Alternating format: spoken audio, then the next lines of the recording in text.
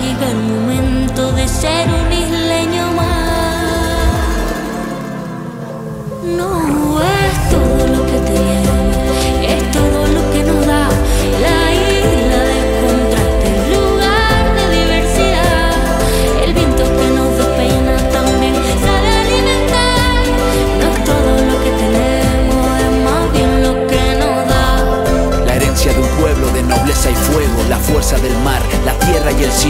cielo, diversa belleza humana y salvaje, su mágica esencia, su gente y paisaje, fuente de energía limpia y soberana, tanta riqueza que nutre y que sana, en nuestras manos nuestra libertad, isla de fortuna que tanto nos da.